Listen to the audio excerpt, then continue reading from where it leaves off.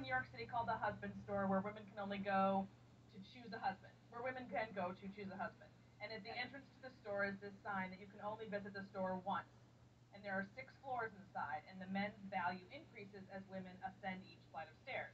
And they're permitted to choose any man they want from any floor, or they can go up another floor. But they cannot go back down except to exit the building.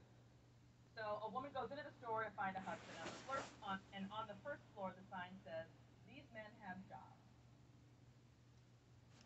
On the second floor, the sign says, "These men have jobs, love kids, and are extremely good-looking." Wow, the woman thinks, this is great, but she keeps going up.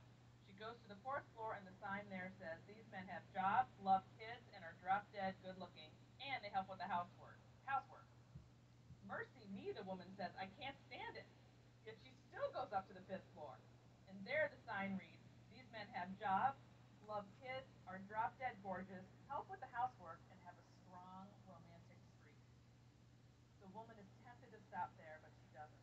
Instead, she goes to the sixth floor where the sign reads, You are visitor 3,261,496,012 to visit this floor. There are no men on this floor. This floor exists solely as proof that women are impossible to please. Thank you for shopping at the husband store. To avoid gender bias charges across the street. And on the first floor there are wives who love sex.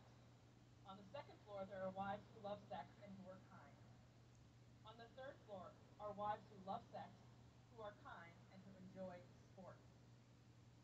The fourth, fifth, and sixth floors have never been lived in. And that's the end of the story. I love that. I love it too. I love it too. Basically, women are un Okay. can't so please it, them. it was just an obvious. I mean, it doesn't take um, a, a genius to figure out the message there. It, women are very difficult and hard to please, and men are not. Men are simple.